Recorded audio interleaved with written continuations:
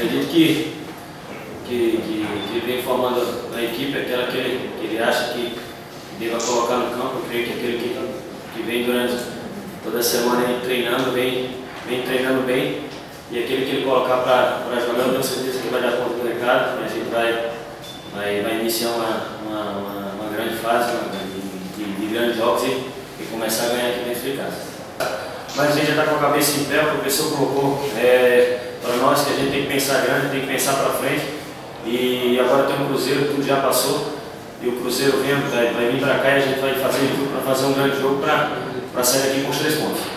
Então, eu tento ajudar da melhor forma possível quando estou dentro de campo, tento correr, tento ser é, aquele jogador vibrante como sempre, mas é, os jogos não estão, não, não, não, a gente não está vindo somar, principalmente dentro de casa, por isso que, que, que, que a preocupação maior.